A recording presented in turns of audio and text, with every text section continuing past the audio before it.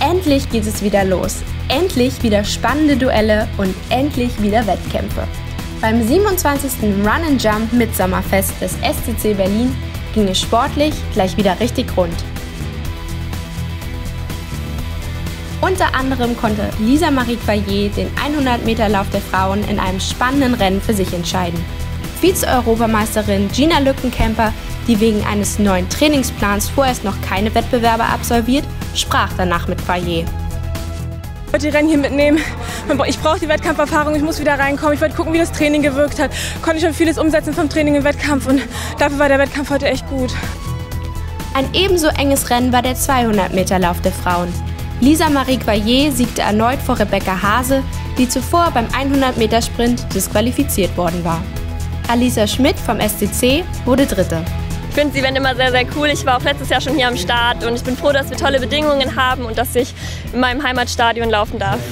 Auch die Männer durften sich im 100 und 200 Meter Sprint beweisen.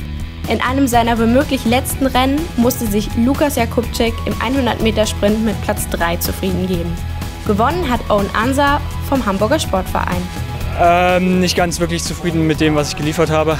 Äh, ja, die Gefühlslage ist dementsprechend ein bisschen ja, wechselhaft. Im 200-Meter-Sprint war Jakubczyk erwartungsgemäß weniger erfolgreich.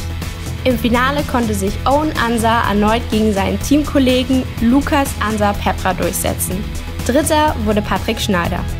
Sieg fühlt sich natürlich immer gut an. Die Zeit ist jetzt nicht das, was ich mir vorgestellt habe, aber an sich ein gutes Training, würde ich sagen, heute zum Einstieg. Beim Frauenweitsprung stand ein Generationenduell an. 25 Jahre trennen Sandra Kramer von ihren Konkurrentinnen. Letztendlich konnte sich die Seniorenweltmeisterin nicht gegen die Jugend durchsetzen. Der griechische Paraathlet Stylianos Malakopoulos wollte außerdem einen neuen Para-Weltrekord im Weitspringen aufstellen. Das gelang ihm auch im fünften Versuch mit einer Weite von 6,87 Metern. Andreas Statzkowski, Vorsitzender des SCC, blickt zufrieden und stolz auf die Veranstaltung zurück. Tolle Starter hier heute, deutsche Meister en masse kann man fast sagen. Super, dass Sie hier ins Mummsteuern kommen und hier starten. Weltrekord, spannende Duelle im Sprint, Generationenduell im Weitsprung.